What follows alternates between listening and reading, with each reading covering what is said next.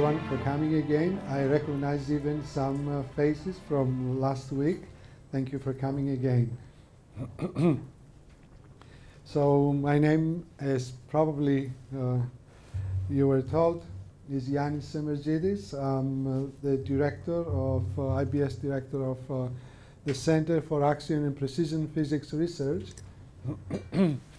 Excuse me. I do have. I still have a sore throat, and I, I have a soother in my my mouth.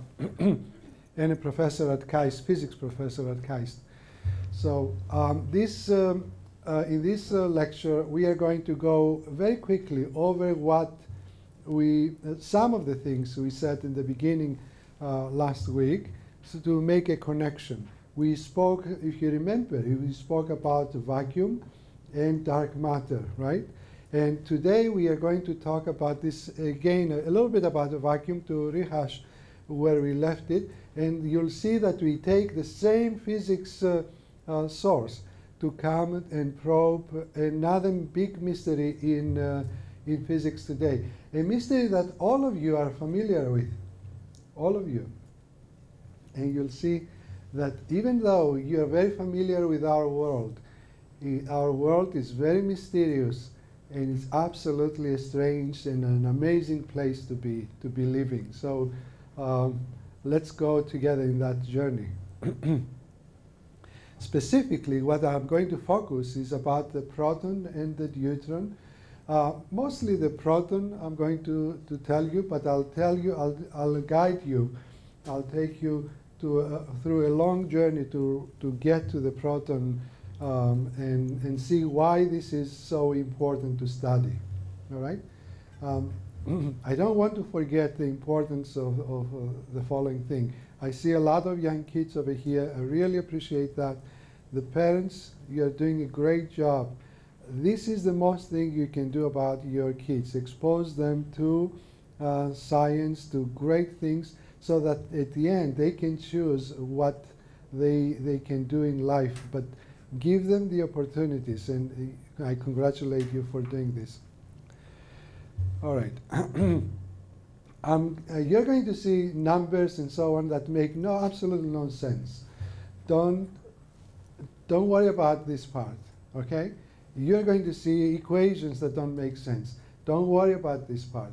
At the end, try to navigate through them and see what uh, what is the the whole subject about. What is the the mystery we are working on and how we are going to approach it and how we in Korea are going to make a huge difference in that in that uh, and we are going to understand by the end of those experiments we are going to have great knowledge all right to us it's very interesting it's very fascinating journey many times people tell me oh did you travel to that that place and that place and so on i said you know, in our world, in this uh, uh, science world, we always live in a different world than the, everybody else.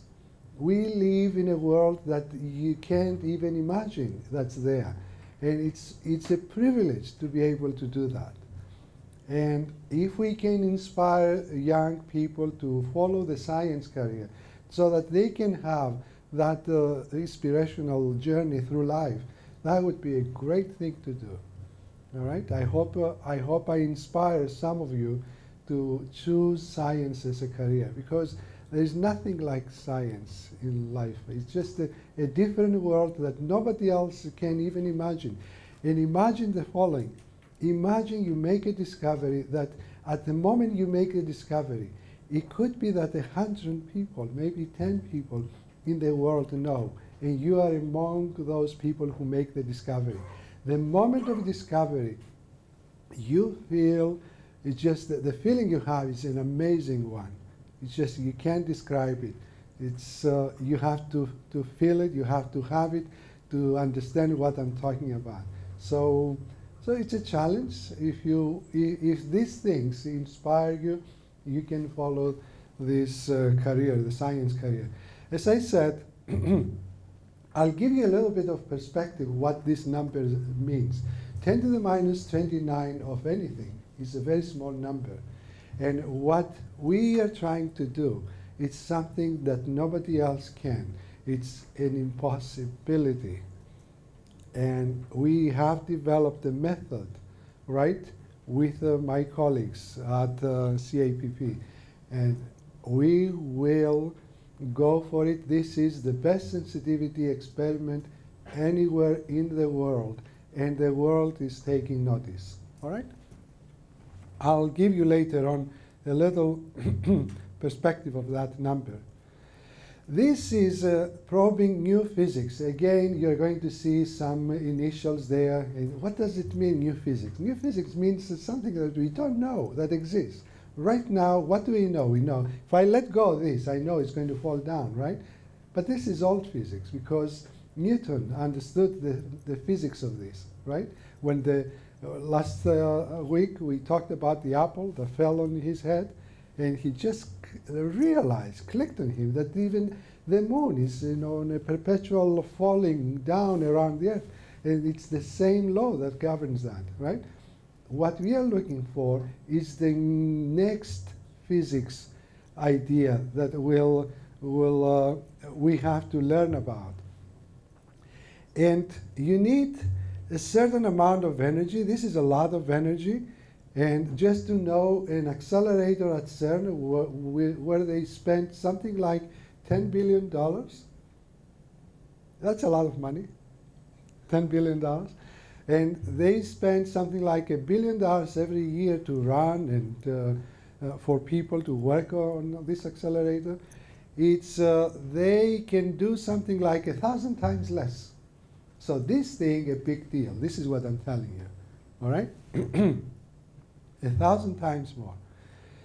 And uh, it's a great physics opportunity for Korea as well. Why is for, for Korea? Korea is uh, it's not so small country, but compared to our neighbors around in the neighborhood, they do have a bigger country, right? And uh, even uh, on the other side of the Pacific, we have uh, another big country and so on, a bigger economy. And there are bigger economies around. They can probably spend $10 billion on an experiment. And in Korea, we, we don't want to spend $10 billion for an experiment, right? But we want to, the Korean way is to come up with smart ways to do great things. Smart and cheaper ways, right? Isn't that the, what, what we are good at? Because we are good at, we work hard, we, we are very uh, innovative, we are not afraid of failure, right? And this is the next generation. This is going to transform the Korean economy, right? This is, this is what we do. Well, we have a smart experiment here, and this is a great opportunity for Korea. It fits right in. It's not $10 billion, it's of the order of $50 million. That's something that can be done in, uh, in Korea. and it has a lot of uh, innovative requirements, and we are developing those things already in Korea right now. okay, and of course, this is our flag over here, and we want a Nobel Prize for it, right? This is our goal, a Nobel Prize for physics. Because do you know that Korea doesn't have a Nobel Prize in physics, right? We want to get one. This is the goal, because Korea deserves one. All right. You saw uh, last uh, week the Nature article about the, our center in Korea. These are people from uh, our center and it talks about so the, South Korea's Nobel dream. And it is about, it says, it's not about the money, because we have the money to, to do it. We have the money to do those things. But we have to change an attitude. We have to be able to take chances, to not to be afraid to, be, to fail. You know what happens when you take chances? Sometimes you fall down, right? Do you fall down? Yes. Right? You know what is the hardest thing you've done in your life? Does anyone remember? And all of you do it. The hardest thing you do is walking. And you know why you everybody walks? Because you don't know when you learn to walk, you don't know how hard it is. If you knew, you wouldn't try it because you would be afraid. You would be afraid to try it because you would fall most of the time at the beginning. And at some point, you get it. Your brain gets trained and you just do it. And then you think nothing of it. I can stand here, I don't have to think about it. My brain does that automatically, right? It is the hardest thing you do in your life, and you all learn how to do it. So don't be afraid to take chances to fail. And just this is the secret to success. Get used to failure and learn from it and then work it out. All right? That's all we do. In science, when we do these high risk experiments, we fail most of the time, but we learn how to do it. We learn from it. We don't get discouraged. All right? So be around people and listen only to people who tell you positive things. Be around positive people and so on. Don't listen to negative people. Nature is hard enough. Just go to around and be around positive people and you'll make it. Anything you do in your life, you have to have faith, you have to have perseverance works. And that's what you need to do. So this is what uh, the young kids need to, to know and the older kids need to know that perseverance works. When you fail, just learn to stand up and continue. Don't listen to the people that tell you you can't do it. All right. so I told you where I came from. This is Brookhaven National Lab, uh, 3,000 people, so many, uh, another 3,000 visitors and so on. A lot of physics and a billion dollar light source. The yearly budget is 0.6 billion dollars, seven Nobel prizes and counting. And what did I tell you about that? The Nobel Prize people, I mean, they are regular people. They walk beside us. Uh, you wouldn't know if, we, if someone pointed out to you, he's a Nobel Prize winner. You, you wouldn't know. They don't look different. They look like us. You and I, same people. Okay? What's the difference? They had an attitude. Okay? This is what I want you to get from here. I want you to get a winning attitude that you have to go for it. work hard and so on. You have to find your way to it. All right? And then you'll you'll get it. All right? CERN is another place. CERN actually was built uh, having Brookhaven National Lab as a model, so they are sister labs. CERN is in Switzerland, in uh, Europe. Brookhaven is in the US. So they built the highest energy collider in the world for $10 billion. You know what they got for it? The Higgs particle. They discovered the Higgs particle. All right? Maybe you heard about it, maybe you haven't. It's, um, it's a particle, it's a, it's a kind of force that gives everything mass to all the leptons to electrons, for example, so that uh, chemistry can exist and life can exist, and that's what it does. But we learn about it. Can we use it right now? Not a chance. Not a chance. There's no, right now we don't know what to do with that knowledge. But the biggest benefit of it is that we train young people to solve uh, great, complicated problems. All right? And then we went on to, to tell you about the IBS. These are the IBS uh, center directors by the order they were appointed.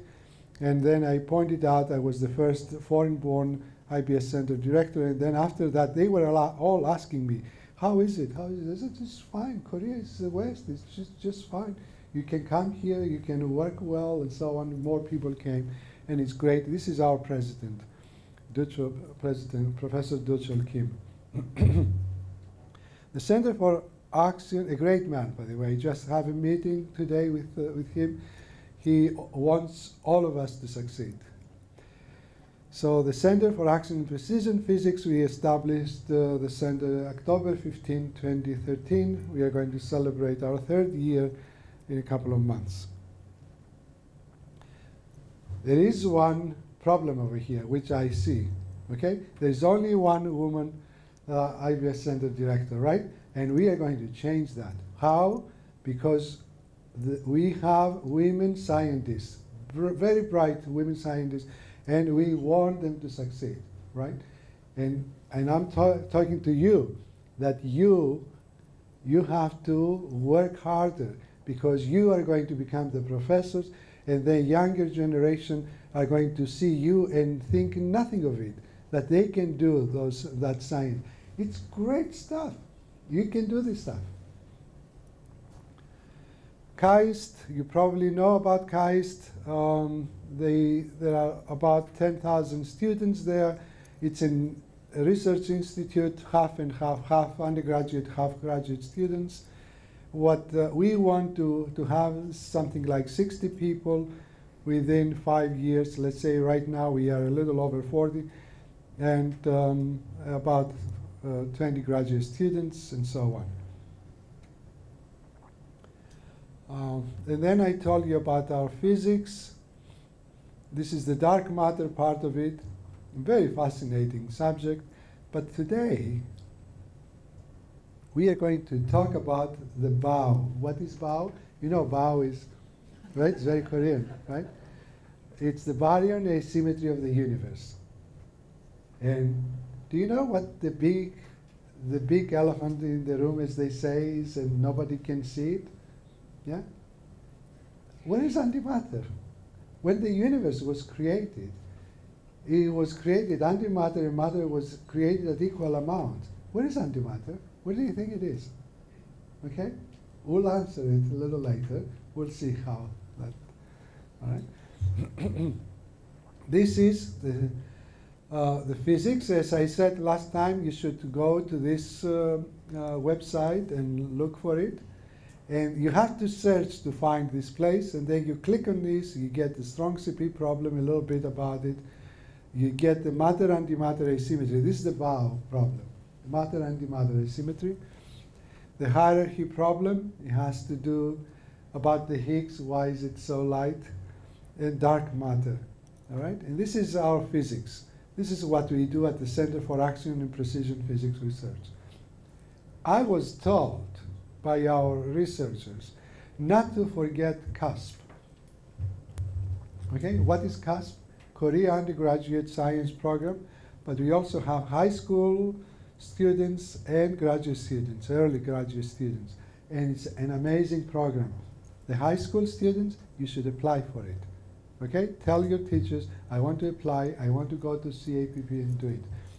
And today I spoke with the President Doochul Kim, he said he wants to make this a national program. CASP is so successful because we bring people from all over the world and uh, they work with our Korean students, half and half, and it's just an amazing thing when you mix different cultures and they work so well together and you get uh, foreigners to learn Korean and Korean culture. And these people, remember, it's the intelligentsia of the, their country uh, in the future and they get acquainted with Korea and they understand how Korea works and so on. It's easier to work in Korea later on.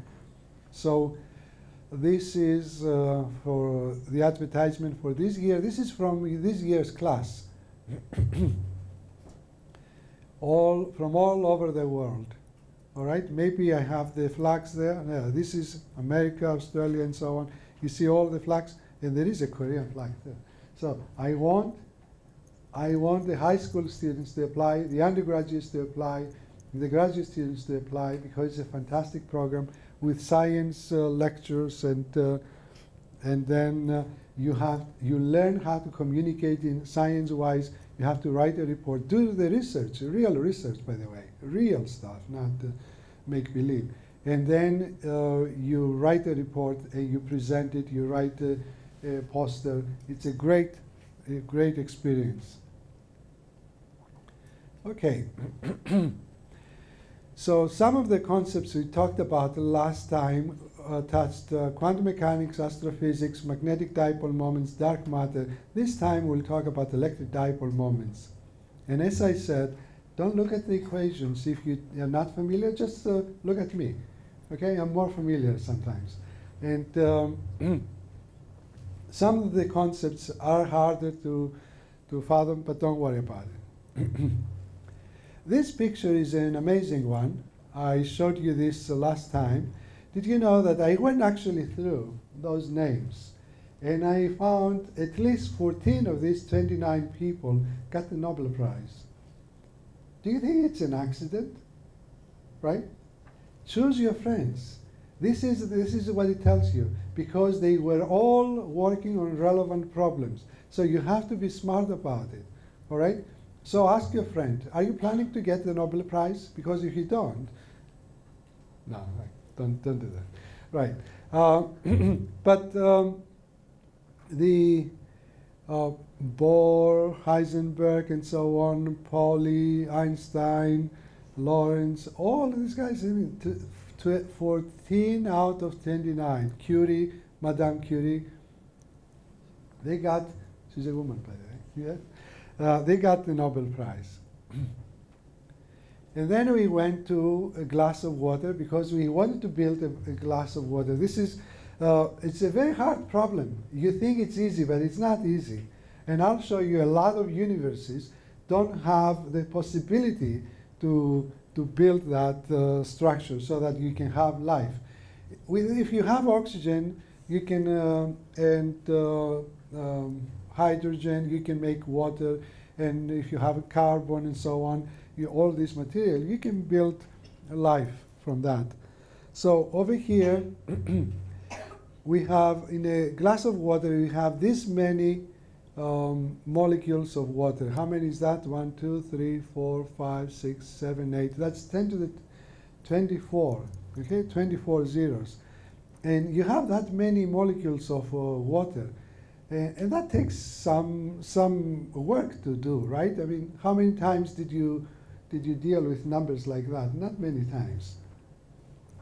The secret to this is the following. There is just one secret, one secret, all right?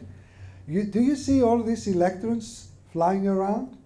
If these electrons could fall down to, to the nucleus, it, will be, it would be all over. You couldn't build life. You couldn't build chemistry. I'm going to repeat this. All these electrons, look at them. They are flying around the nucleus, very far away. There is no reason for those electrons to be flying away so far. Okay? We all like to go to where it's most comfortable. And nature doesn't let them fall down. All right? And that's a great mystery. Why those electrons are, are hanging out there. That fact, the fact that you can have them up there, gives the possibility to stick with the hydrogen atom electron. They make pairs. That is the very reason we can exist. Our universe is an amazing place. I warned you about it. It's absolutely an amazing place. The fact that you exist is a great miracle already. Okay? Count your blessings. Life is absolutely an amazing, amazing event. It's a tremendous event. Don't take it for granted. And it is a beautiful event.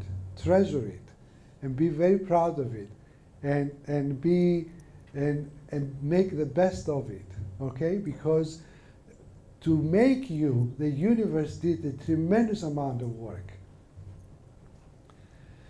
So, as I said last time, in the universe we have, this is actually 80 zeros, 10 to the 80 protons, okay? I won't count them. 10 to the 80 protons. So there is a lot of protons. When the universe was created, kaboom, we went, right? It created a lot of protons, and that can make a lot of glasses of water. Thank God, right? Because we have the oceans and so on, and we need that. So there is some, um, for some reason, that happened. so we need protons and electrons, and we also need to create oxygen atoms, protons, neutrons, and electrons. All right? So as I said, how come all the electrons are not in one state, that is, all of them to fall down? If they fall down, remember, you can have water. If I drain the water out of you, you're done. You're 70% water. Forget about it. It's done, finished. Right? Right. That's right.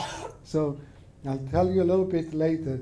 Where this this mystery was with us for a long time it was these guys first. They discovered the quantization of space, Gerlach and Stern. And, and this is not trivial. They were doing this experiment, you know, it's many times they tell us, oh, what are you going to discover? And so we don't know what we are going to discover. We, we do, we use the best technology to do something, to look into something, right? And what did they do? They guided a beam of silver atoms through an inhomogeneous magnetic field. And what happened is, this was their setup. The inhomogeneous magnetic field means this is the South Pole, this is the North Pole. The shape is not the same. This is smaller than that, so the magnetic field is stronger there. Why did they do this? Who knows? You know, sometimes you just have to do things. It was just, just to try, because all these experiments, people said a lot of other people could have done those experiments, but they didn't. They did it because, okay, uh, let's try to see what happens. And you see how the beams were split in two? Two distinct, even though they overlap a little bit, it's two distinct positions. They go either there or there. They don't go everywhere. That is the key. So that means this is uh, actually how this film looks like. This is without the magnetic field, this is with the magnetic field. You see the splitting, a very clear case. And this is how the idea of quantization of space came about. They realized that this material comes, comes about with a spin, with a spin. That is, they all rotate. Uh, and, and any charge that rotates creates a magnetic field.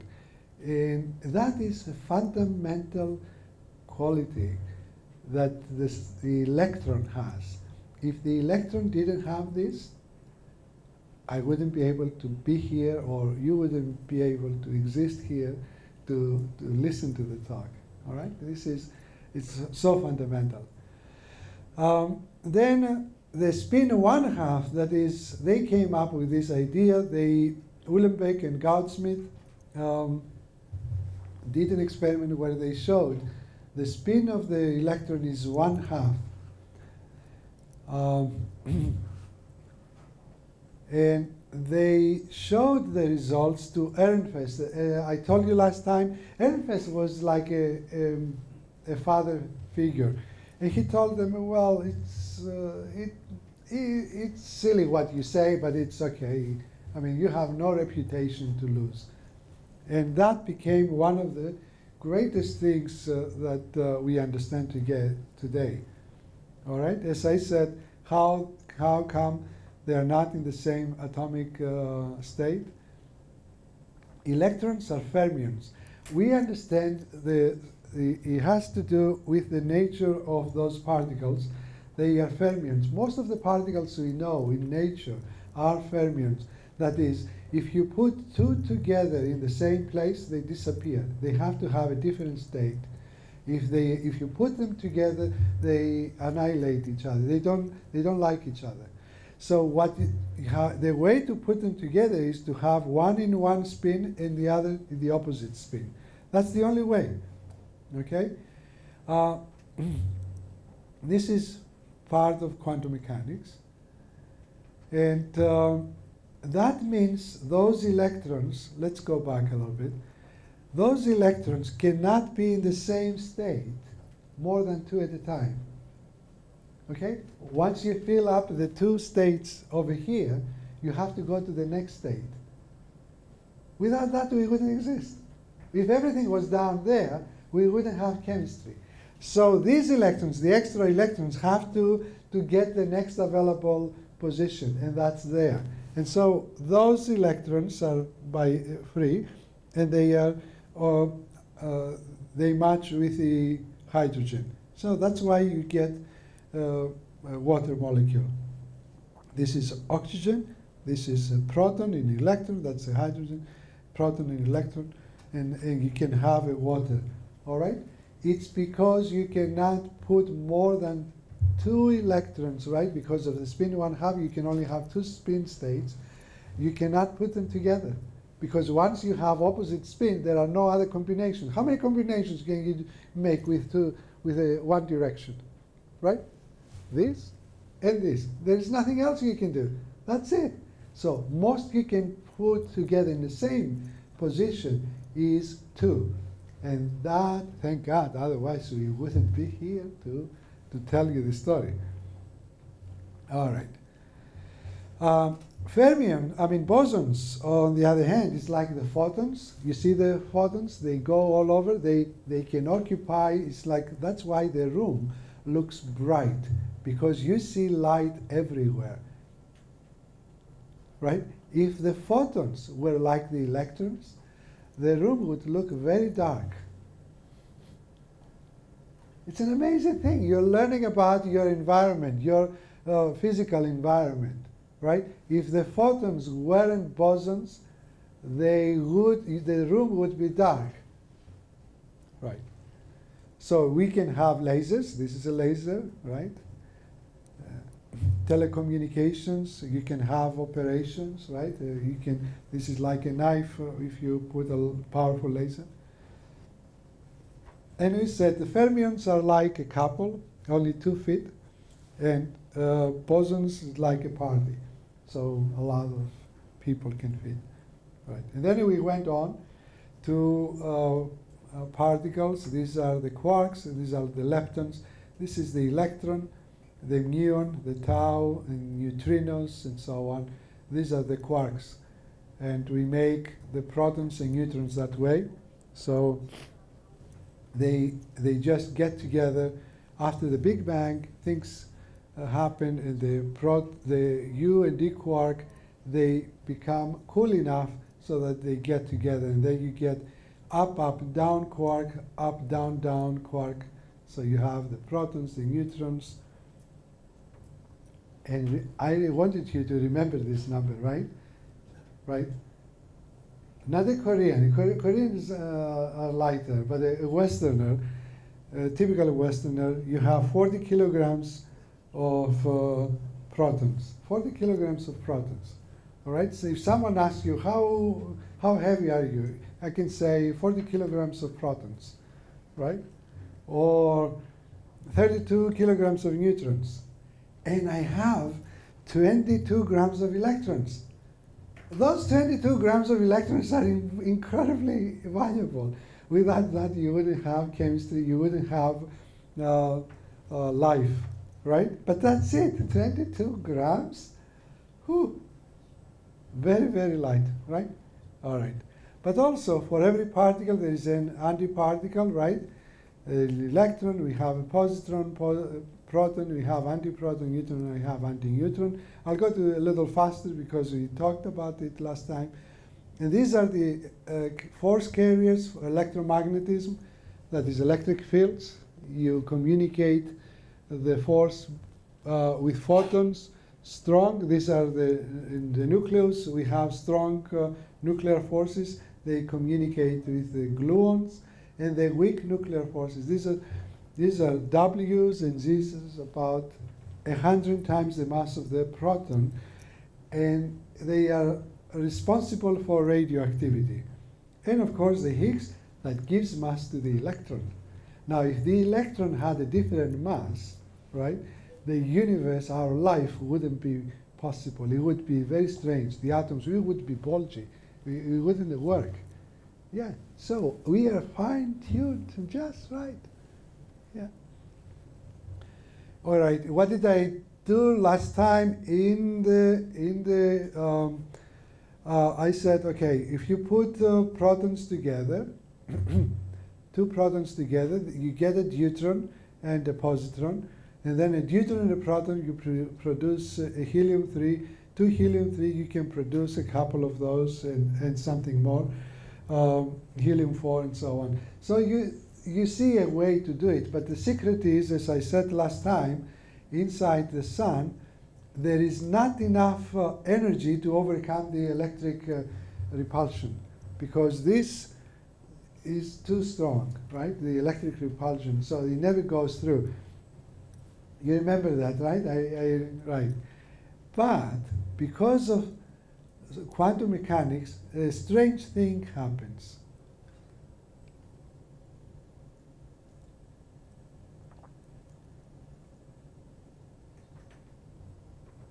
This strange thing means that every quantum mechanics says the following thing that you cannot know the energy of the particle and the position of the particle exactly. There is an uncertainty. You can build the whole quantum mechanics laws, everything, all the, with that principle alone, that you, you cannot know the energy and the particle position at the same time. So what happens is the following. Occasionally, the particles borrow energy from nothing. It's like a bank out there, and you borrow money, and then you, as long as you give it fast enough back, you don't pay interest rate. Wouldn't that be great? If you could borrow from a bank just a little bit of money and then give it back fast enough so that you don't have uh, you don't have to uh, pay interest rate. That would be great, right? What happens is they have enough energy to overcome the repulsion. And so you can create, this is what this shows. From here, you can overcome the barrier and remove to this box. That's what it says. So because of quantum mechanics, um, life is possible. Look at this. The particle energy is never constant, but because of that, these particles borrow, borrow energy from vacuum to, to overcome the repulsion potential and then they stick together. That's how it happens. Now tell me, isn't that weird? This is strange, right? Why is it strange? It's strange. Remember what is strange in our lives. Everything that we are not familiar with, it's strange. But all our previous knowledge is based on what we know already. So by definition, the new thing is going to be strange, right? And we are used to these things. Actually, a lot of times we are used too much to strange things. So we say weird things sometimes. And, all right, it, not all strange things are real. So that's what I'm trying to say, that you have to verify when you do experiments, you have to verify them all the time. Okay, now let's see, we can build uh, in the suns up to iron, and we showed that. Um, and then we talked about how the electromagnetism is keeping the sun uh, alive. Remember, this thing, if gravitation, gravity in, on the sun is so tremendous that it keeps the pressure up and the stronger interactions are extremely fast. They take no time to happen. So if the sun didn't have these electromagnets, these photons to push back, to push back the, the protons from falling down, it would go, it would explode, all right? And uh, we know why this, and how long does it take to burn all of those things? It's about 10 billion years our sun will have a lifetime of 12 billion years. 12. Already we had five, all right? And we have another four and a half, say. We have another uh, seven and a half to go. So, and then what happens? A supernova. We do have explosions. How long does it take? A couple of seconds. It doesn't take long. The whole thing, how can, can you imagine the whole sun to go up in a couple of seconds? That is weird right? That's because strong interactions are really very fast. You know how fast? 10 to the minus 20, below 10 to the minus 20 seconds. It's a scary small number, all right? Because when it goes, it goes. Doesn't wait for you. We don't do anything in 10 to the minus 20 seconds. Nothing, right? But uh, the whole process, because they have to fall and so on, takes a, a few seconds, and then that's how it happens. And then we have the recycling, as we said last time, in the universe. And I showed you, you remember the video I showed you? Remember that for those who were here? All right. Okay, that's all the overview from last uh, lecture. Okay? Now we are going to move to the next uh, stage, which is the following. And you'll see how, how the, our universe could be really a weird place, an interesting place to, to be. Uh, at the, uh, at the collider at CERN, where they spent $10 billion, remember? This is where, what they spend it on, uh, doing all these experiments. This is ATLAS and uh, CMS. Those are two large detectors. They have a couple more, but they are smaller. But these two big uh, um, detectors, uh, okay, of course, they measured the Higgs. I mean, they found the Higgs, but then they also estimate the, how the Higgs um, interacts with these particles. All right? And they found it to be exactly how the standard model, that the standard model is uh, a standard model. That, that means the current understanding of all the physics we have, all of it. You put it together, and that's called the standard model, right? All the physics laws. You put uh, uh, everything you know about the physics laws, electromagnetism, weak interactions, strong interactions, all together, it's called st standard model. And you see the dotted line, and you see those lines, uh, those points over there? Okay, you don't need to look the, the axis. What you need to see is that it it's consistent with the dotted line. You know what is the problem about this? that our physics laws don't make sense. They are not self-consistent. Right now we have a problem. What is that problem? That they, the physics laws don't, we don't understand why they are the way they are. So what we said a lot of smart people said, in order for our universe to make sense, for us to exist, there must be another class of particles out there that, uh, that uh, corrects the physics.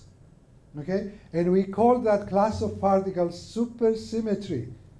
Okay? It wasn't just symmetry, it was supersymmetry.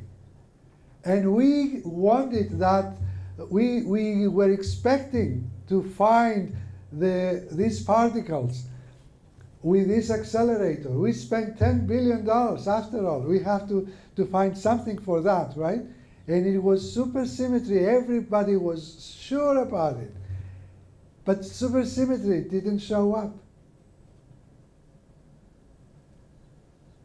She's still out there. We are still waiting for her to show up. She didn't show up. Okay? So uh, why is this important, right? Okay, so they, LHC, the Large Hadron Collider at CERN, discovered the Higgs. No sight of uh, SUSY, nothing. No electric dipole moments, right? Which, if SUSY was there, we would expect already electric dipole to be there. So we don't know what's next. And you know what the physicists are talking about now? Now, wait for this because this is shocking. All right? What they are saying, you know, we don't have to explain our universe. We just happen to be in one where we can exist. There are 10 to the 500 universes where the electrons don't have the, the mass they need to have for us to exist. It's an empty place. All the uh, universes around us are empty, desert. And it's just us, the, over here, where we can exist. And I can tell you, from the physics point of view, I mean, 10 to the 500 universes, it's a big, it, sounds a little weird. We are alone in this huge empty space and so on. And, and, and that is a scary thought, that there is no purpose. So this is, this is already uh, not very comfortable, right? But physics is what it is, right? We have to be strong, we have to look at the data and interpret the data correctly. So there may be other universes out there even near our universe, maybe they are touching and so on. That over here you couldn't exist. The electron doesn't have a mass. That's a problem. If the electron doesn't have a mass, I'll decay, right? Well, in our universe, at least, the electron does have a mass. Anyway, this is one of the things uh, that is happening. But we are taking a different approach. Look at this. Uh, what is this trying to say? What do you think it's trying to say? Yeah?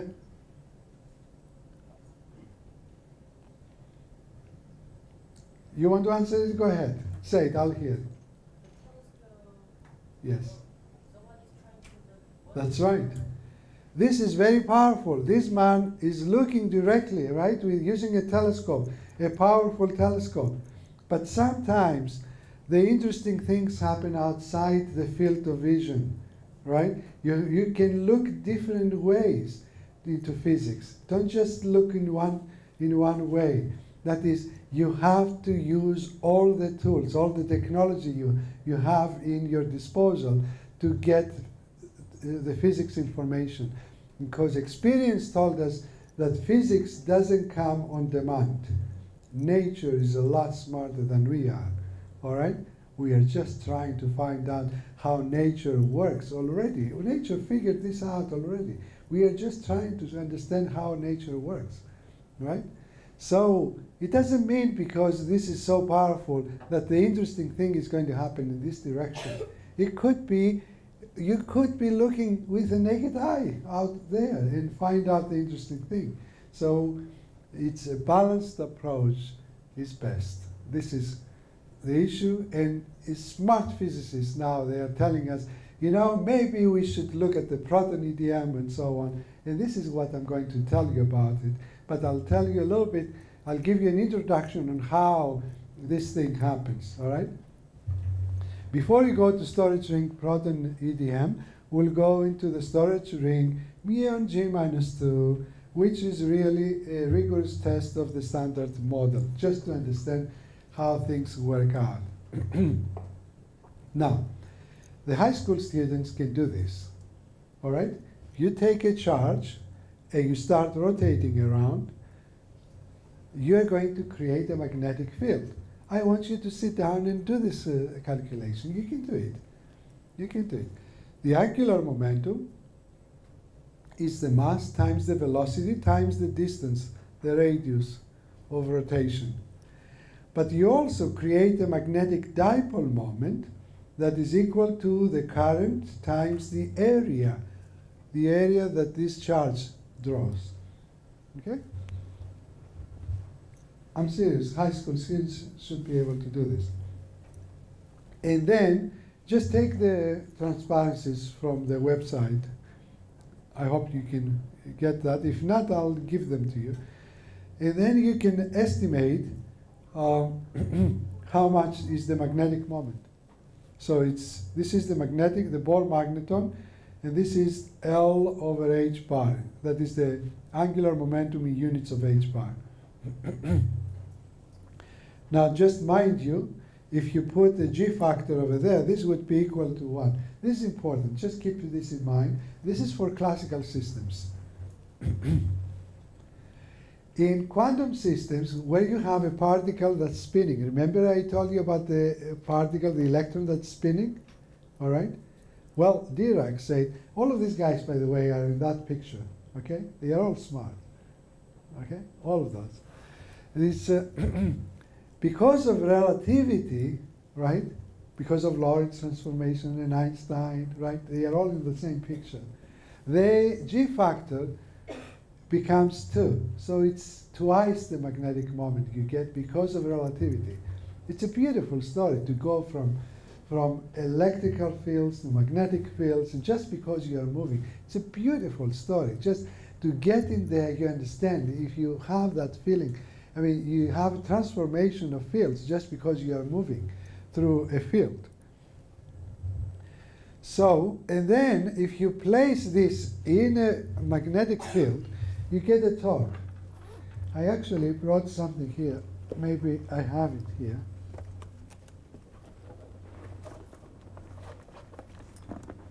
I wished I could find it.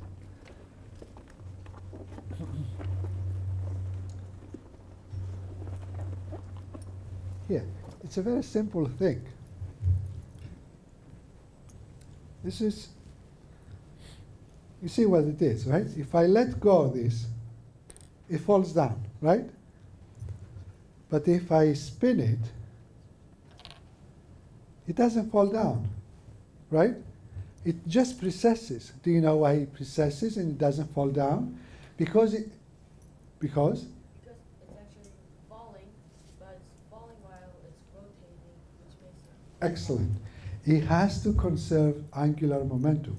This is that, that thing I gave it, the spin, it has to conserve it.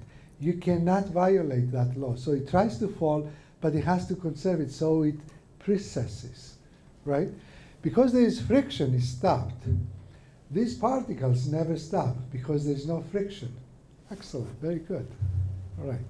So, in a magnetic field, they keep going because there is a, a, magnetic force on it. Because you put two magnets together, they, there is a force, right? So you get the spinning. Um, that precession wouldn't happen out in space. They, you turn it around, it would keep turning in the same direction. It wouldn't precess. All right. This is something um, undergraduates or uh, high school students that learn differential um, calculus. I mean, they can do that very very fast. I want you to do it. Okay, just do it. It's a, a nice thing to do. And uh, if you do it when you go to first year uh, undergrad, you won't have to, to sweat it. So it's just done. All right, you just look into that. It's a, it's a beautiful thing. Um, I won't go through that. Why is this important? Remember, this is uh, um, this person. He um, Rabi, Isaac Rabi, um, around 1938 he discovered the magnetic resonance imaging. So he did this, and uh, he found, um, he discovered nuclear magnetic uh, resonance. MRI is based on this. Okay? That is, we can now see inside our brain without having to open the brain. You just go into a magnet, we scan through and we can look at your brain. Actually, I had an MRI and they found brain. I, I, I was okay. So you can find all of that, right? You can see the density and so on. It's an amazing thing. It's like a, when a car goes over the stoplight, and there is a sensor, a sensor underneath it, and it, it sees the, that the car was there. It's the same story. We sense the little magnets in there. And that's, and that's how you get, uh, we know that the protons are just like little magnets. All right? But also, magnetic dipole moments can also tell us about quantum field fluctuations. This is very weird. Now I, will I'll tell you.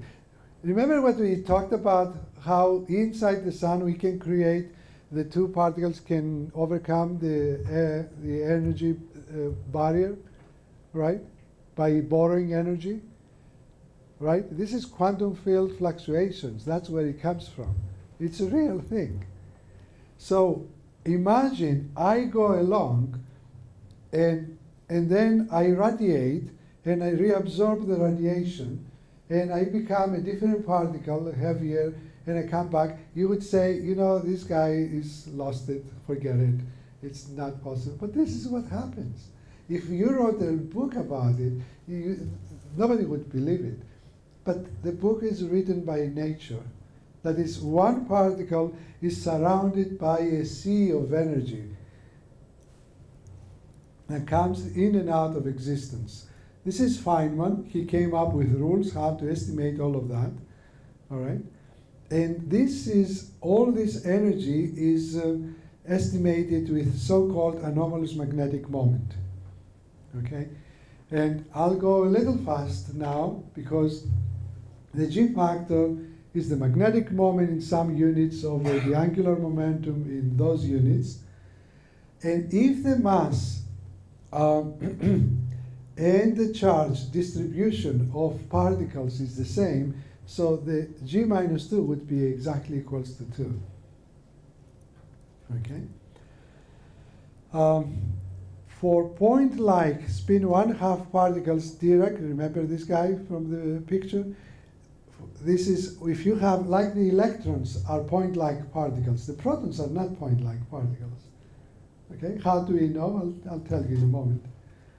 So the protons have a G factor of 5.5. So we knew right away the protons are not point-like particles.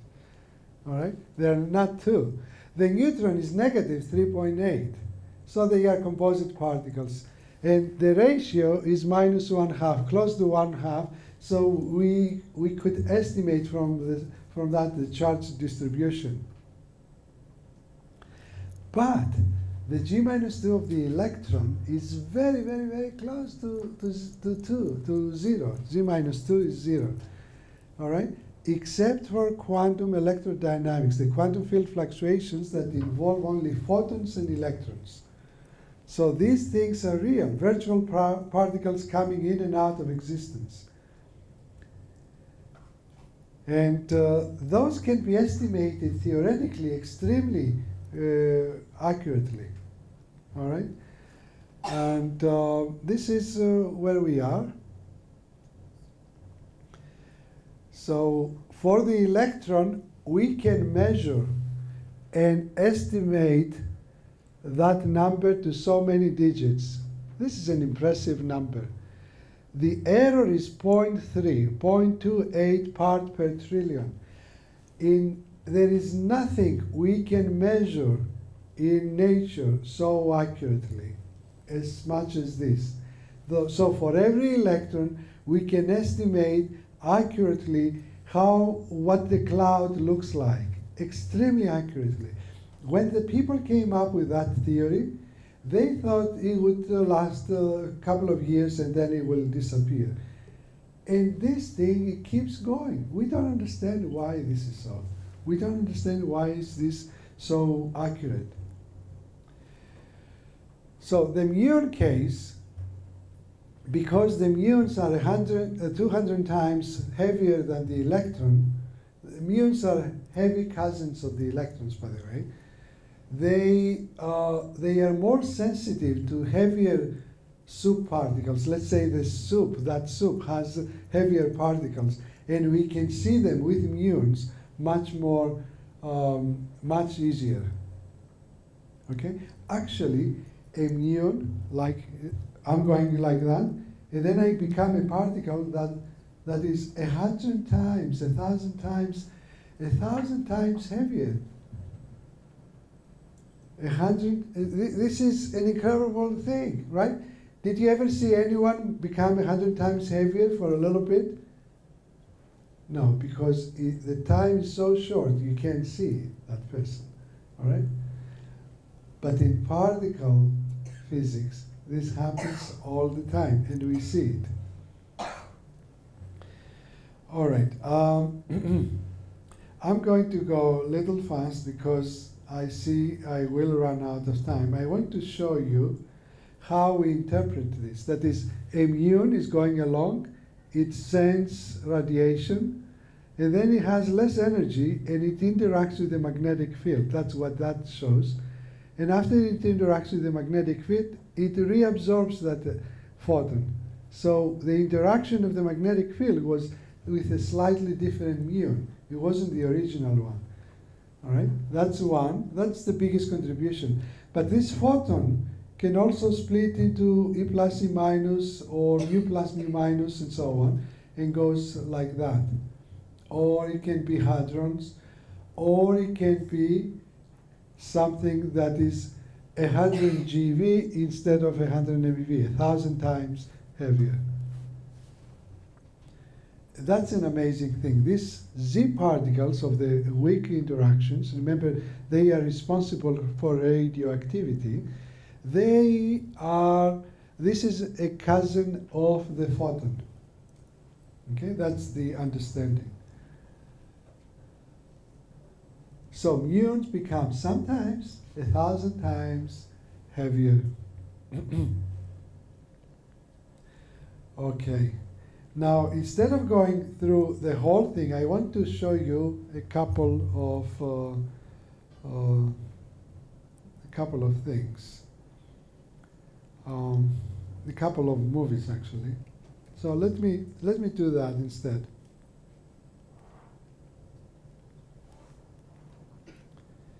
Yeah, we had a very big magnet at Brookhaven National Lab, very big one.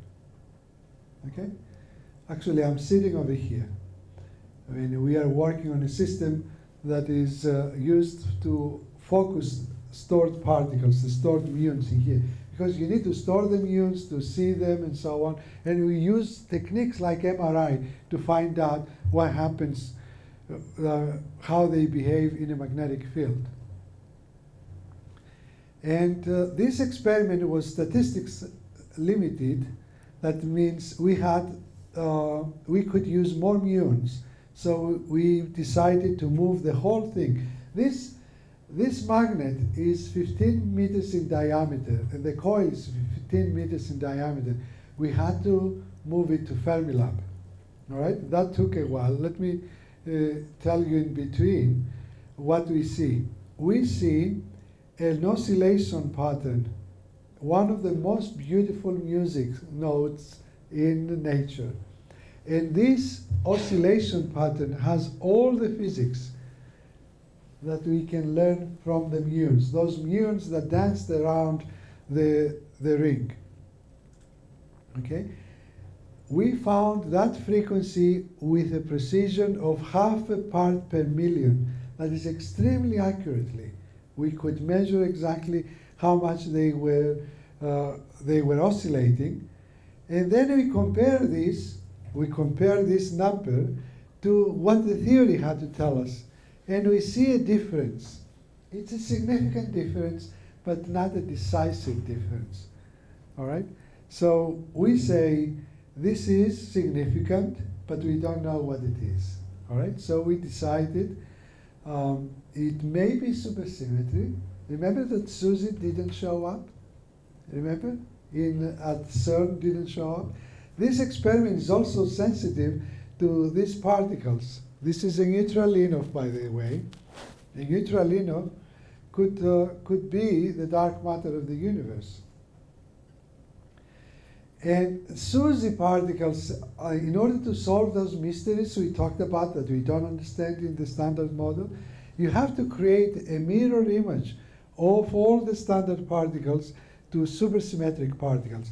For every fermion, you create a boson okay, to a, symmetric world. And it turns out the neutralino would be a nice dark matter candidate for, the, for nature. So we found that difference and we don't know what it is, so we decided to move the, the ring from Brookhaven National Lab all the way, all the way to Fermilab. And you know, this is all through waterways with the, with the river. All right? This is all an amazing journey. 15 meters in diameter, that's a big deal, right? I'll show you a little video about that. And this is uh, Fermilab. This is the, the muon ring uh, arrived at Fermilab. That's uh, on the track. And you see the, the crowd that came to to see the muon coming to Fermilab? Okay, some reason. You see the ring over here? We, we are sitting there, and our Koreans are somewhere over here. You can spot them. And it has been put together. All right? Let me show you how this thing looks like.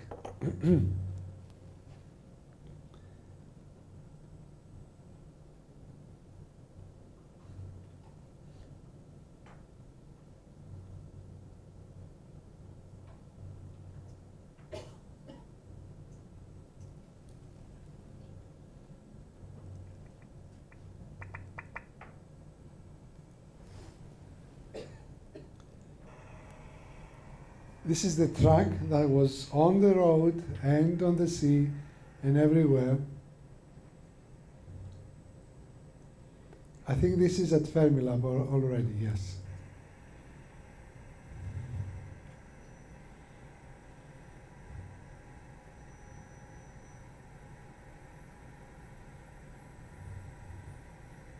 The whole coil, electromagnetic coil, 15 meters in diameter.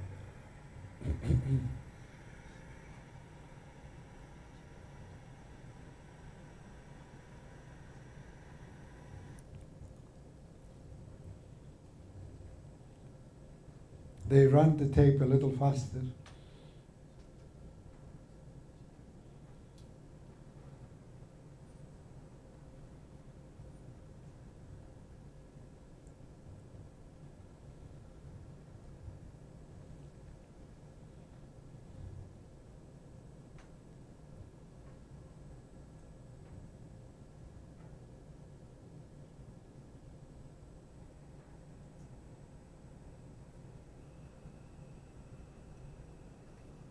So why were people so interested in this? Because this is this experiment showed the first indication that there is something more than we thought about the, the physics picture we have right now.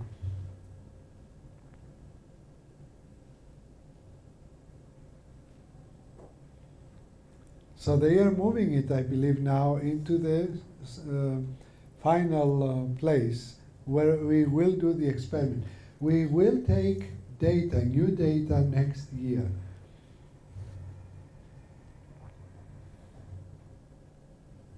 There it is, yes. That's, uh, and it will go in. This is our building, the new building.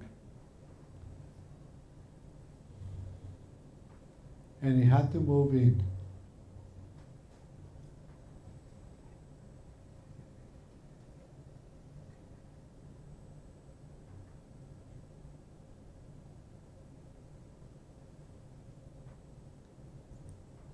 It's an amazing thing because we put it together and it worked.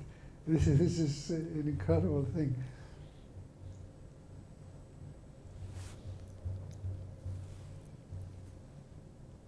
So it's pushed into the final experimental area place.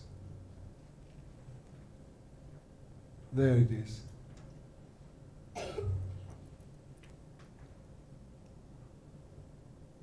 So this is uh, the iron on the bottom, and this has to go on top of it. All right, because it's an electromagnet.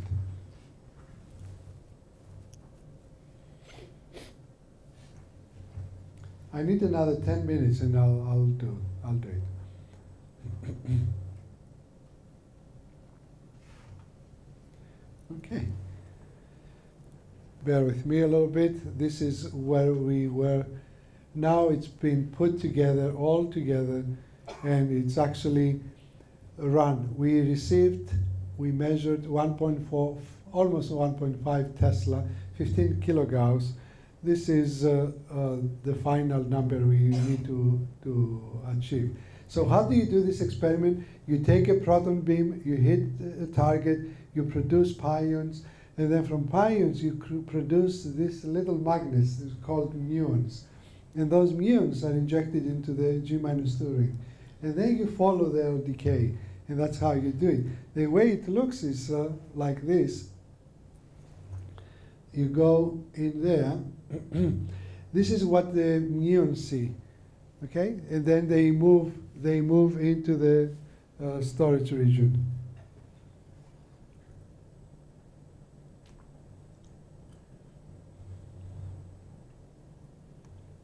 I see. So let me see if that uh, would play.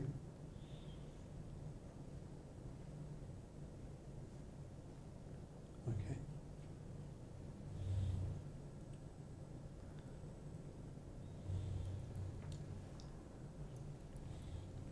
Okay, the, the point is um, there is there is a big issue, a big problem with that experiment. We are solving it by doing certain things here in Korea.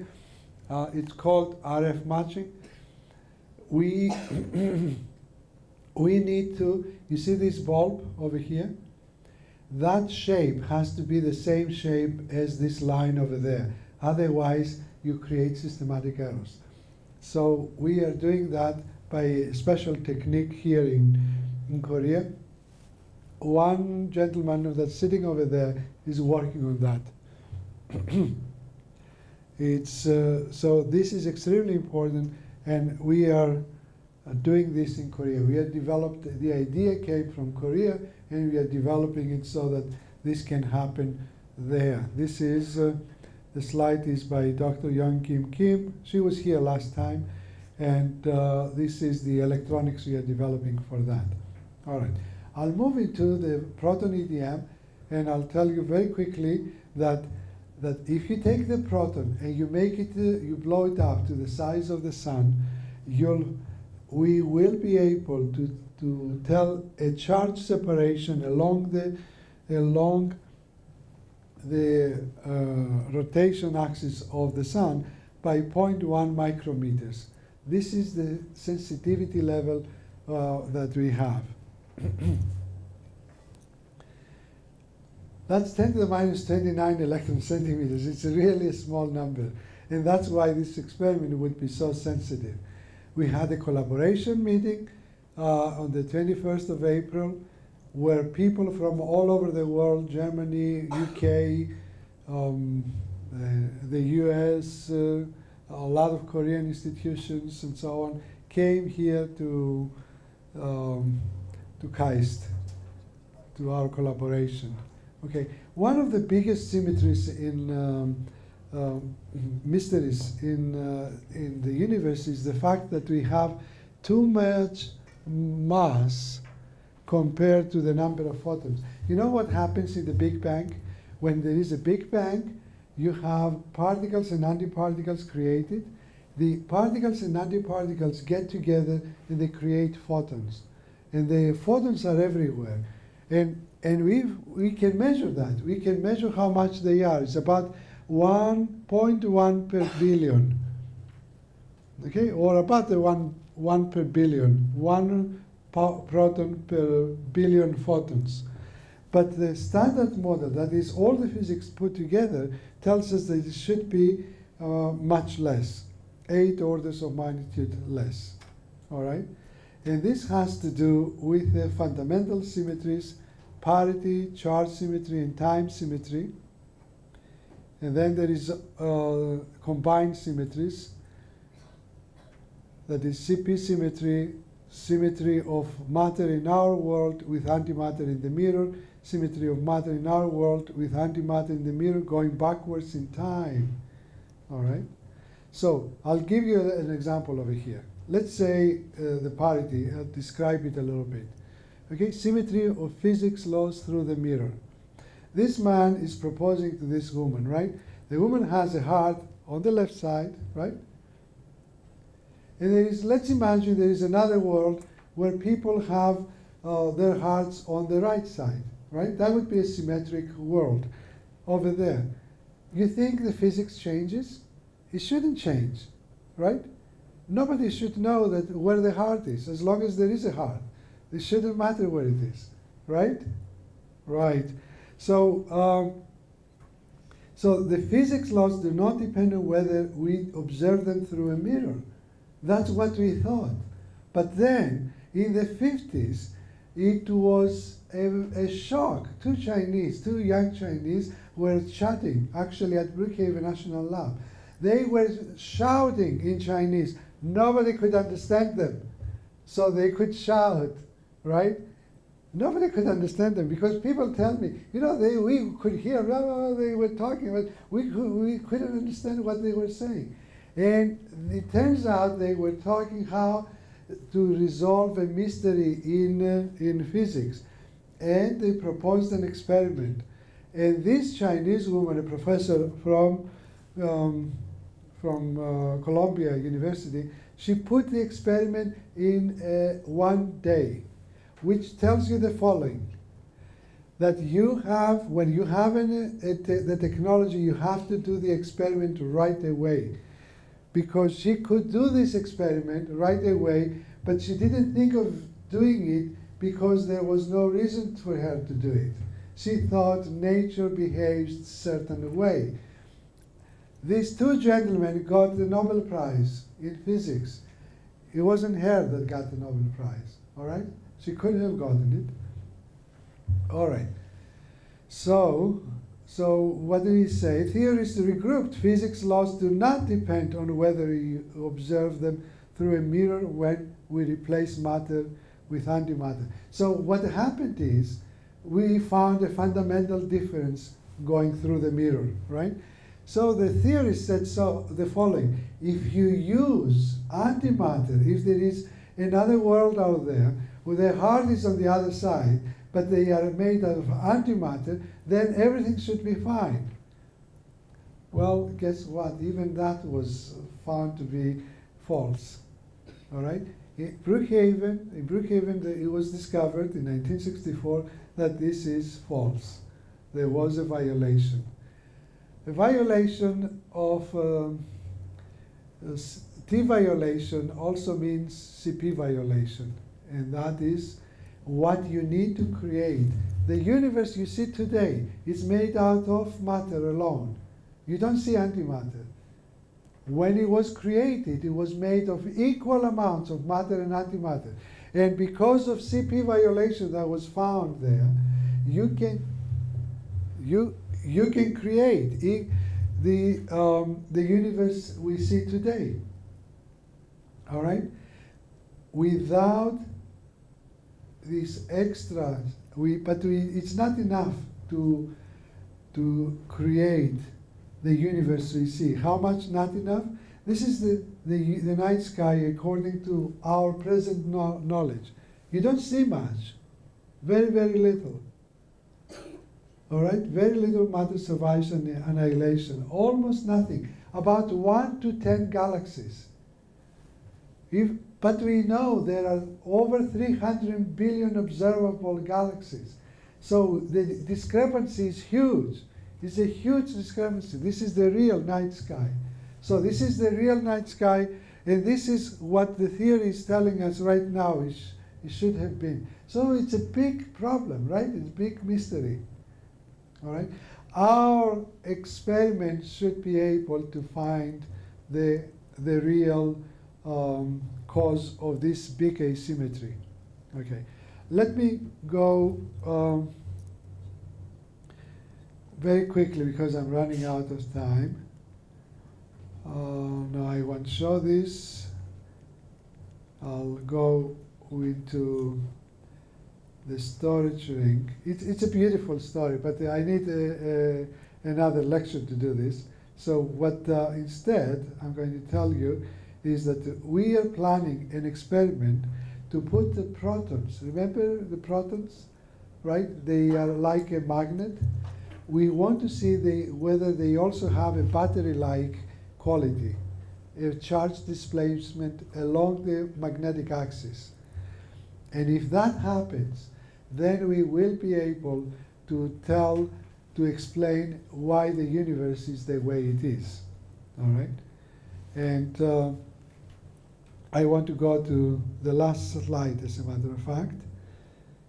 It's. Um,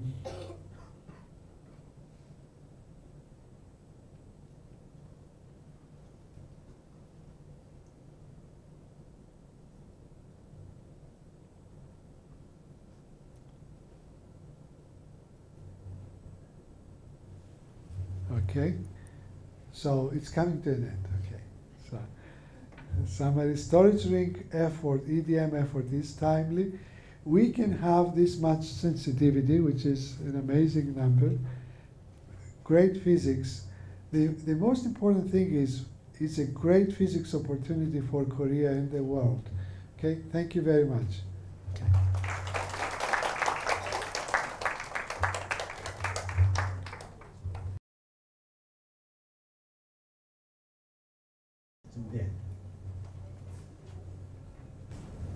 So much, Professor Semertzidis.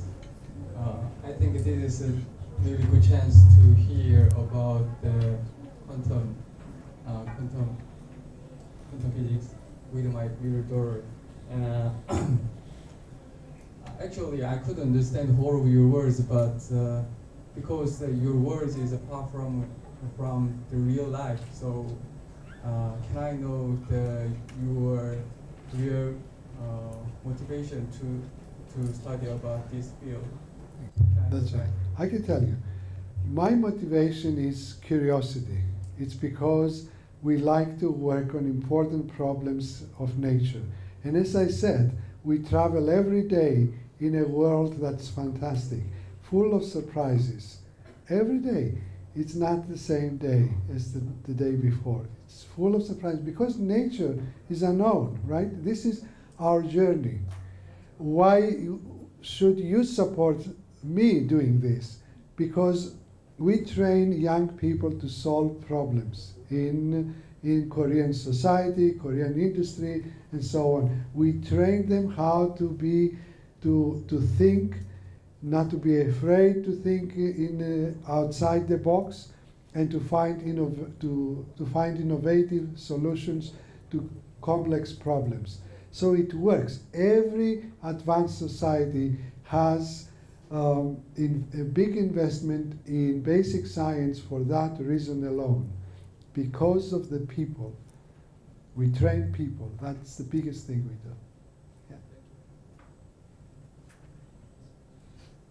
do. Where is the antimatter that used to be in the galaxy? Thank, thank you for the question. The antimatter and the matter met together and created photons. As a matter of fact, our universe is a flood of uh, photons. There are so many photons around. But you know what happened? The higher energy photons, as the universe expanded, the photons became uh, a, of that energy that your eyes don't see them. But we have different eyes, like radios, that can see them. That's how they were discovered. And they were discovered, the discoverers got the Nobel Prize, of course. And that was in the 60s. It was a mystery. And that was the first indication that the universe was created in a Big Bang. Thank you for the question. Very good. Um, so if the same amount of matter and antimatter were made at the start of the Big Bang, well, after the Big Bang happened, wouldn't they all have canceled out? Very smart. You're very good. That's, that's exactly right. So what you need is, you need a moment where they don't immediately meet and something else happens. And that's the game the theorists play. Because uh, matter and antimatter behave slightly different. And that is when we do, we look for the electric dipole moment of the proton, let's say we find it, all right? After we find it, the theorists will know at what point matter and antimatter behaved slightly different. So they didn't all have time to get together. Okay? Something else happened before they could get together. And, and that is that is where the the key uh, is. So they don't meet before that other thing happens. If they met right away, you- they would annihilate, and the universe would be a sea of photons, nothing else.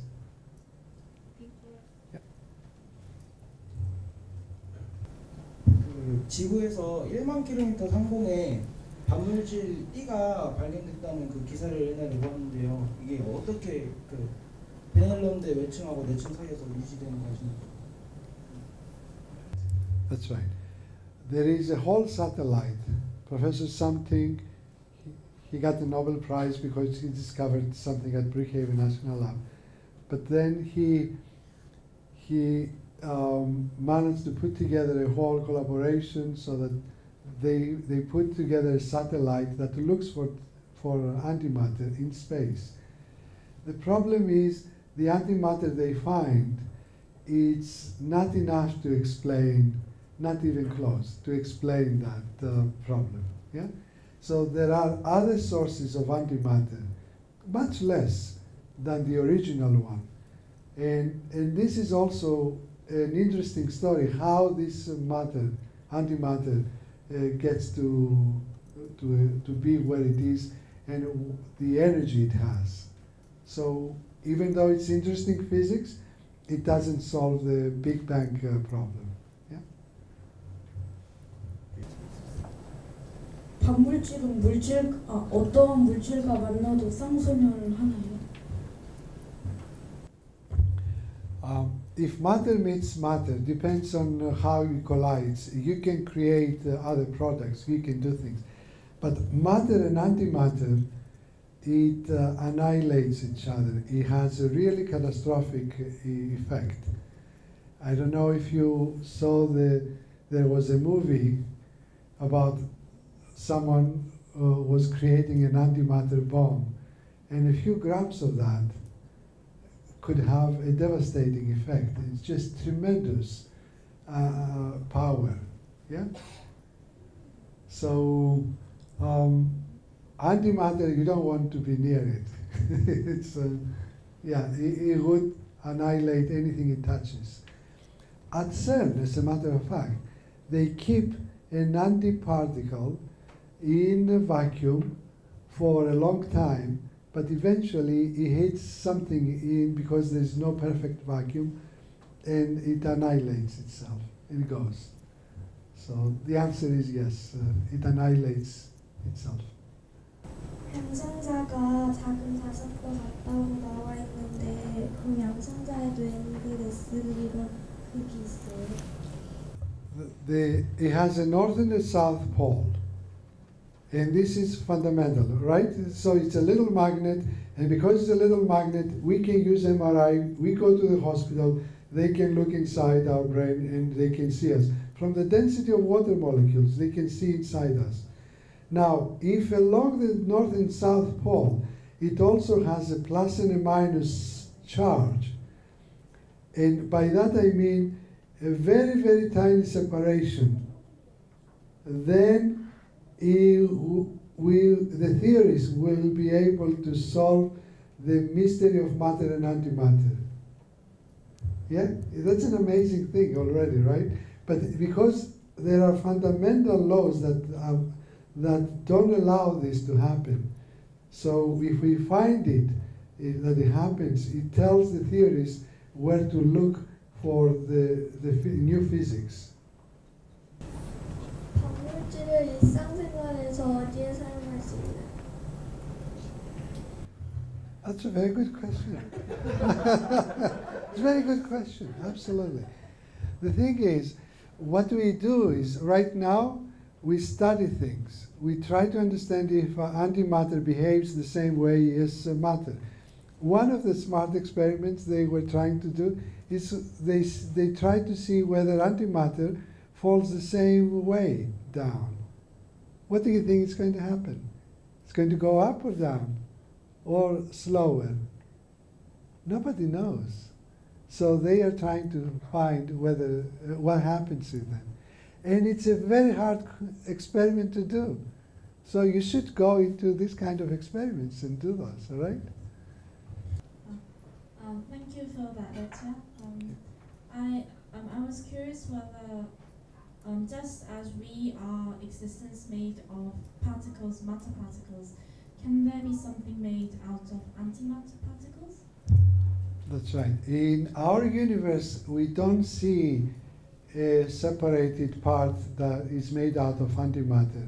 But in another universe, it's possible that they are made out of antimatter.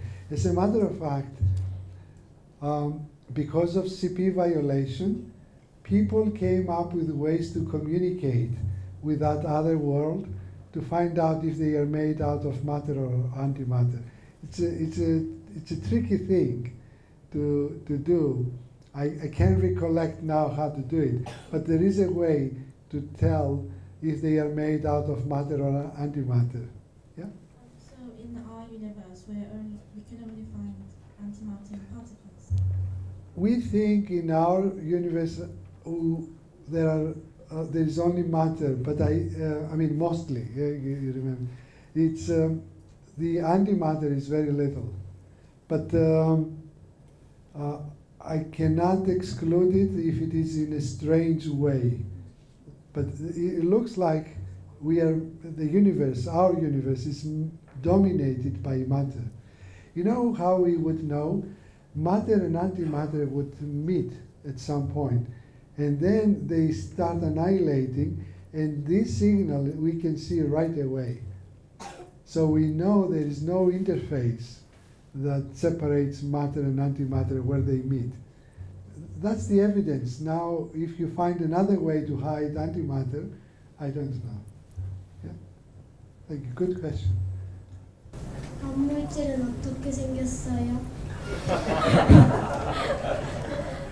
it, it looks the same, absolutely the same, except the charge is different. The proton has a positive charge, and the antiproton has a negative charge. It would behave exactly the same way. In, a, in another universe, if you just look at it, you wouldn't know, except unless you did some funny experiments, little experiments, and then you could tell. But it would look very similar to ours. Yeah? Matter and antimatter, to most part, they behave similarly, but some things they are different. So they are not exactly the same. Thank God, because if, we, if it exactly if it behaved exactly the same, we would all be photons. Eh, We wouldn't exist. How can we measure the electron's velocity from the magnet magnetic dipole moment? That's a very good question. Uh, it's it um, it's a detailed. Um, we measure the energy. What we do is the following. The muons decay to electrons, and something else we can't see, but those electrons uh, have a certain energy that tell us what the muon spin direction is, and that's how we do it. So the energy of the electron tell us tells us the whole story and the time, and that's how we we plot together that uh, beautiful uh, oscillation. Do you remember that oscillation I showed you? That's how we, we put it together. Yeah, from the energy of the particle. That's how we know.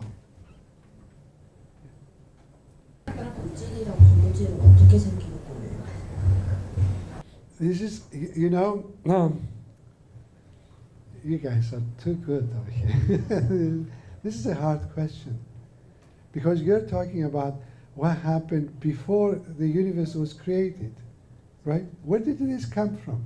Quantum mechanics allows for these vibrations, oscillations of energy. Remember when I said that the, the, the, quantum mechanics, oh, I'm sorry, quantum mechanics allows the um, existence of energy for a short time. Well, it happens that in these quantum fluctuations, you can have very rarely, but you can have a real creation of uh, a lot of energy. And that's where it came from.